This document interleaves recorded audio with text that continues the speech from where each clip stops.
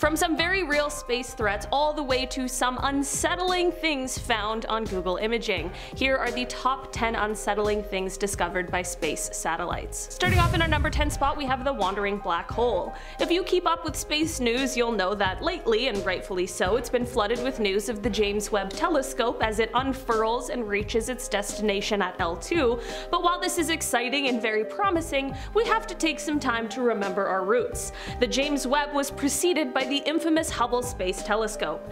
The Hubble walked so James Webb could run. Since its launch into low Earth orbit in the 1990s, this space telescope has been delivering us amazing space discoveries, and this one is a bit of a frightening one.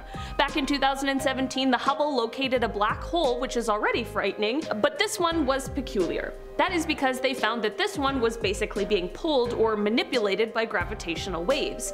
Basically what this means is that at some point this black hole is going to escape its own galaxy and begin roaming into the universe. Black holes are bad enough, I don't want them to start wandering around. The good news, however, is that despite this black hole weighing approximately the same as 1 billion suns, as it flies through space at 5 million miles per hour, it's estimated to be about 8 billion light years away from Earth, so we're pretty safe at this point. In our number 9 spot today we have the Trementina Base. This is a location that was of course discovered using satellite imaging, and you might be wondering what this base holds that makes it so unsettling. Well, that is because this is the location that belongs to the Scientology affiliated Church of Spiritual Technology.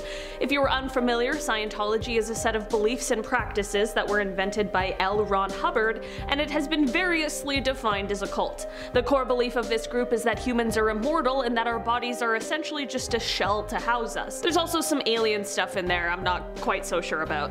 This group is quite controversial, not only for the beliefs of the group, but because of their illegal activities that also occur like fraud or spying on the government. There have been numerous superior court judgments which have not only called this group a dangerous cult, but also a manipulative profit-making business as well. So this base is said to belong to the Church of Spiritual Technology and they are said to be an entity that was formed to to manage the copyright affairs of the Church of Scientology. This base is supposed to provide storage space for an archiving project which is meant to preserve founder L. Ron Hubbard's writings, films, and recordings for future generations, which is definitely a terrifying thought. It is said that these texts have been engraved on stainless steel tablets that are encased in titanium capsules and held underground. Maybe a little overzealous if you ask me. In our number 8 spot today we have Stereo A. The Solar Terrestrial Relations Observatory, or STEREO for short, is a solar observation mission that was first launched in 2006. The mission saw the launch of two spacecrafts, Stereo A and B, and they were sent into orbit around the sun. This has caused the spacecraft to pull ahead of and fall behind the Earth, which has given them the opportunity to use their stereoscopic capabilities to get imaging of the sun, as well as phenomena such as coronal mass ejection, which is exactly what we are here to talk about today. In July of 2012 there was a CME, often referred to as a sort of solar superstorm, that tore through Earth's orbit but luckily Earth wasn't there. The same couldn't be said however for the Stereo A spacecraft as this storm and the craft collided. If this event had occurred just one week prior to when it did, Earth would have been right in the midst of it however, so we were pretty narrowly missed. The Stereo A spacecraft has been able to remain operational despite this hot encounter. In our number 7 spot today we have the Lost City. In 2011 archaeologist Sarah Parcak used high resolution and NASA satellites in order to look for subtle differences on the surface of the earth, and she used this in order to pinpoint the locations of buried ancient pyramids, towns, and ancient tombs in Egypt. This would allow her and her team to find these spots from thousands of miles away so that they could then go and excavate them. While this method led to many amazing discoveries, perhaps the most notable of all is the discovery of a 3,000 year old Egyptian city. She and her team had found the lost ancient city of Tanis, which lies about two hours northeast of Cairo. Through this satellite imaging she was able to find networks of streets and such that are completely invisible from the ground. The imaging also shows that the city is filled with underground tombs as well. Sarah explains why she enjoys what she does so much saying quote, what's incredible about archaeology is literally every day archaeologists are making headlines by making the most incredible discoveries. Well Sarah, this is certainly one of them. In our number 6 spot today we have whales. There are quite a few satellites that orbit our Earth and there has been for years, but as time goes on we find new ways to use the information that they give us. According to an article written on January 20th of this year, there is a new study that is showing how, as satellite imagery improves, it is being used to accurately identify whales that have been stranded on beaches. The article goes on to explain why this is important, saying quote, For as long as humans have been monitoring the ocean, the only way we've known about stranded whales was to stumble upon them ourselves. But knowing about stranded whales, including where and when they strand and how many are ashore, is vitally important. Largely due to human causes such as ship strikes, pollution, and entanglement in fishing gear, whale strandings are on the rise. Their occurrence can often signal that something is amiss and hint at a larger ecosystem problem, such as a harmful algal bloom, yet the ground-based networks used to monitor stranded whales are biased towards wealthy, highly populated regions. It is very true that despite their enormous size, many of these creatures that wash up on remote coastlines or in resource-limited nations or in countries experiencing conflict end up going completely unnoticed. In our number 5 spot today we have the SS Yasim wreck. The SS Yasim was a Bolivian cargo ship that sank on the evening of December 1st, 2003. For a while no one was quite sure as to why it sank as well as the fact that no one could find the wreck. This is exactly why it was so surprising when a few years ago the Google Maps team located the sunken vessel based on their satellite imaging. The ship was found on its side, perhaps in the same location it initially sank, in Wingate Reef just off of the coast of Sudan. This wreck then became one of the largest visible on Google Earth until quite recently. In our number 4 spot today we have the Lake of Blood. This is another find that came as someone was scrolling along and looking at all there is to see on Google Maps all the way back in 2007. This is when they noticed a blood red lake that sat just outside of Sadr City in Iraq. Many people began to speculate what this could be about, including a ton of macabre ideas. There was even a rumor going around that said a local slaughterhouse in the area would sometimes sometimes dump their blood into canals, but this seems a little unnecessary and very unlikely. There hasn't yet been an official explanation for what exactly made the water so red, but it's most likely that the red color is due to sewage, pollution, or possibly some sort of water treatment process.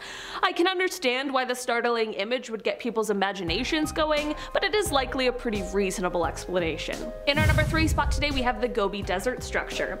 This is one discovery that had conspiracy theorists' minds absolutely swirling. About a decade ago, someone was searching through some Google Maps images when they found a mysterious array of structures and patterns that appeared to be etched into the surface of the Gobi Desert, which is located in China. The structures are reminiscent of geoglyphs, but are seemingly much more modern and newly created. The speculations of what this structure could be or why it was created went wild, with people saying that they were street maps of American cities or messages either to or from some sort sort of extraterrestrials, the list of bizarre theories just goes on. While this is still sort of conspiracy sounding, this is likely the most reasonable explanation for what these structures are, and that is that these structures are used to help calibrate China's spy and radar satellites. To be fair, this does make a lot of sense, and I don't have any other ideas for what it could possibly be. In our number 2 spot today we have Leo 1. So we live on Earth, which is one of the planets in our solar system, and our solar system sits in a galaxy that we call the Milky Way. There are other galaxies out there that are potentially similar to ours, but there are also things called satellite galaxies. So you know how our solar system is a solar system because we are bound to and orbiting around our sun? Well, basically these satellite galaxies are like that, but with bigger galaxies. Like they orbit around our galaxy.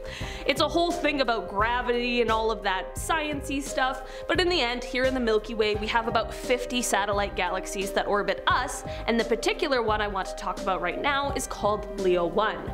We started investigating this specific one because of the fact that researchers realized that it doesn't contain a lot of dark matter. While studying this galaxy, it was found that although it is small, it has a massive black hole at the center of it. Like, it's so big in comparison to the galaxy itself that this black hole is almost as big as the one we have here in the Milky Way, which is unprecedented data. This discovery could lead scientists to redefining what their understanding is of how all galaxies formed. The galaxies are the building blocks of the universe, so this would be immensely interesting and important information, and it could change a lot of what we once believed. In our number one spot today we have the missing hiker. This one is a little different from the others on today's list, but it's a super interesting story that involves using satellites, and I had to share it with you. A man by the name of Ben Kuo has a hobby where he enjoys looking at different satellite imagery in order to look at all places all over the world. He has said, quote, you can look and see what's going on in the world no matter where it is. It's kind of fascinating what you can see. He then went on to describe how it's kind of trivial, but he loves it, and in this case, it was more useful than trivial. The case he is referring to took place in April of 2021 when a hiker named Rene Compean got lost in the Angeles National Forest. While lost with little reception and low battery on his phone, Rene was able to send one photo to his roommate, which he sent in hopes to give a clue about his location. The photo showed his legs with a sort of canyon below, and while I look at the photo and go, okay, he's somewhere that has rocks I guess, people like Ben see this as a stellar clue. Ben said quote, actually I looked at the picture and I said, I bet I can find where this guy is. Ben used his own knowledge of hiking trails in the area as well as sites like Google Earth and EO Browser in order to zero in on where the missing hiker could be. It took Ben about 20 to 30 minutes to find what he thought was the location of the missing person, and he passed along the info to the search and rescue team. In the end, when the sheriff's department went out to investigate, they found the missing man less than a mile from where Ben suggested he might be. Once found and informed of how they located him, Rene said, quote, I was like, wow, I didn't realize somebody had a hobby doing stuff like that. I owe him my life and everybody else that was involved in helping. Alright guys, that has been our list for today. Thank you so much for checking it out. I've been your host today, Olivia Kosolofski, and I'll see you all next time. Bye!